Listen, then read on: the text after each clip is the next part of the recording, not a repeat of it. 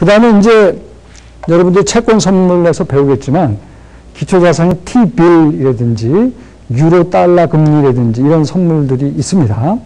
그런 선물은 여기 보시면 아시겠지만 동경, 싱가폴, 런던, 시카고에 다 그 선물들이 상장이 되어 있어요. 거래를 할 수 있게 되어 있습니다. 그러니까 어떻게 돼요? 도쿄에서 거래를 하다가 도쿄 시장이 끝나면 도쿄 시장은 끝나는 거죠. 그러면 싱가폴 시장을 통해서 거래를 할 수가 있고 싱가폴 시장이 끝나면 그 다음에 런던 시장을 통해서 거래를 할 수가 있고 끝나면 시카고를 통해서 거래를 할 수가 있으니까 거의 24시간 거래가 가능해졌다. 음. 앞으로 이런 경향은 더 심화되겠죠. 그 다음에 이렇게 거래소도 국제화되다 보니까 서로 거래소 간의 경쟁이 치열합니다. 서로 거래소를 매력적으로 보이게 만드는 중요한 방법 중에 하나가 거래, 거래세를 낮추는 거예요. 그죠? 어.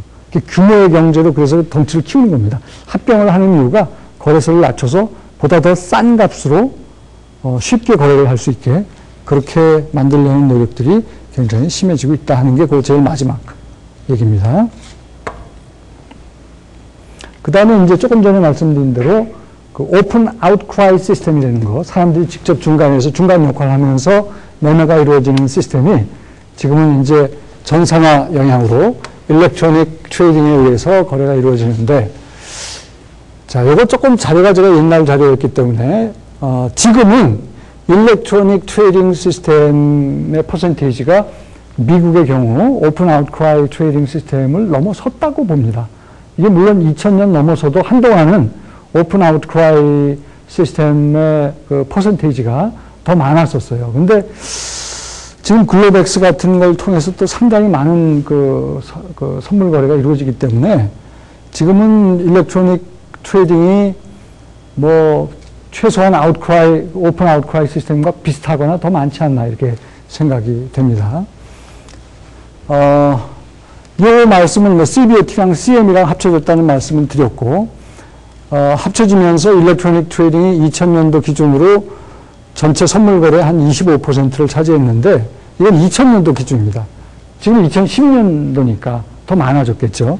더 많아졌는데, 그 정확한 통계는 지금 제가 없고, 2010년도 기준으로 글로, Globex에서, CME Globex에서 전체 그이 CME 글로벌 그 CME 그룹에서 거래가 되는 거래량 중에 70%가 거래가 된다는 얘기니까 CME에 관한 반 이상이 electronic trading으로 거래가 된다는 얘기예요.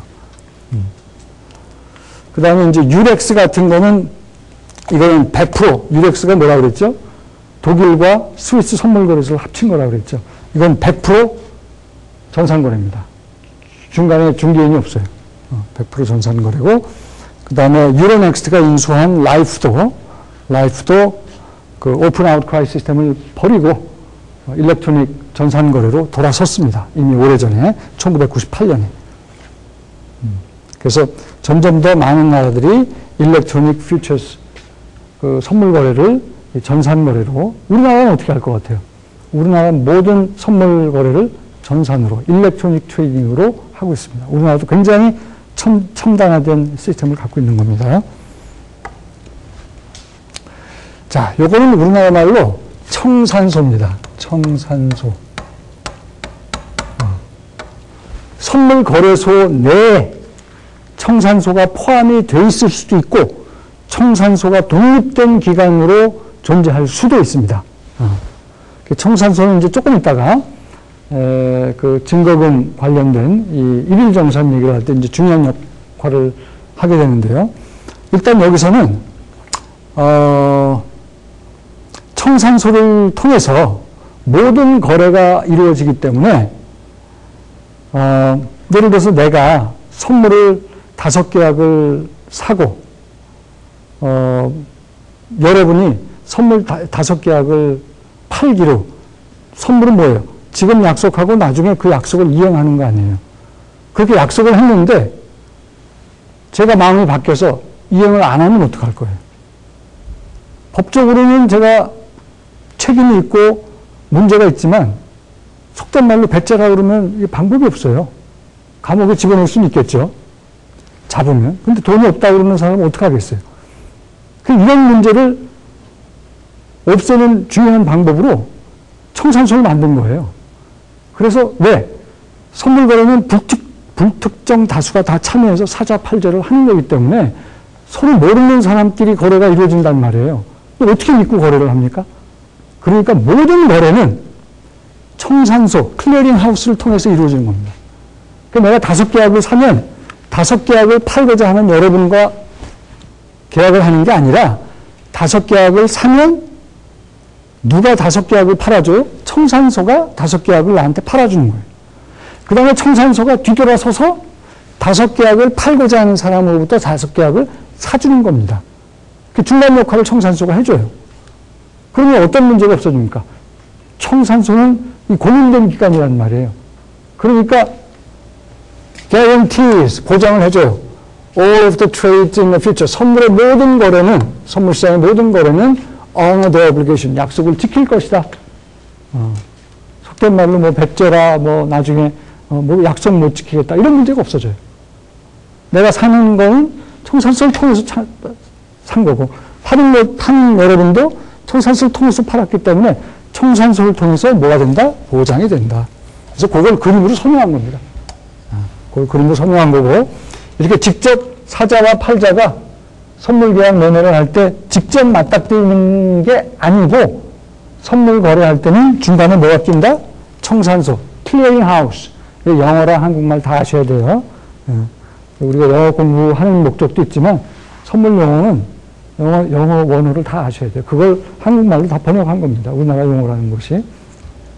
청산소가 이렇게 중간에 껴서 어, 산 사람을 통해서 사주고 판 사람을 통해서 팔아준다. 어. 그러다 보니까 청산소 덕분에 어떻다? 사는 사람, 파는 사람은 do not need to trust each other. 저 사람 의심할 필요 없어요. 저 상대방이 부도내면 어떡하나 의심할 필요가 없습니다. 그리고 상대방이 누군지도 each other's identity. 상대방이 누군지도 알 필요가 없어요. 어? 매매하는 게 중요하지 뭐 저 사람이 뭐, 뭐 하는 사람이고 인품이 어떻고 알 필요가 뭐가 있어요. 중간에 청산소가 들어있음으로 인해서 청산소가 중간 역할을 해주기 때문에 사는 사람, 파는 사람은 마음 놓고 선물 계약을 사고 팔고 할 수 있는 겁니다. 아시겠죠?